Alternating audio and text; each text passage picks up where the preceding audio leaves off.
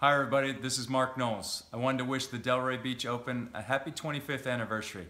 So many great memories from this event. I played the first one in 1993 back in Coral Springs. Had some great memories from the title run in 2006 with Daniel Nestor, and also played my last year on tour there in 2012 with Xavier Malisse.